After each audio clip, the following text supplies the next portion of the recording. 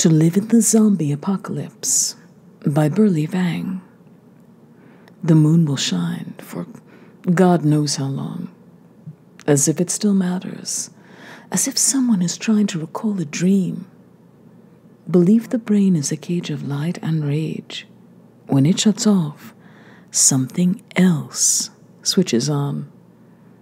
There's no better reason than now to lock the doors, the windows Turn off the sprinklers and porch light. Save the books for fire. In darkness, we learn to read what moves along the horizon, across the periphery of a gun scope. The flicker of shadows, the rustling of trash, and the body of cities long emptied. Not a soul lives in this house, and this house, and this house. Go on, stiffen the heart quicken the blood.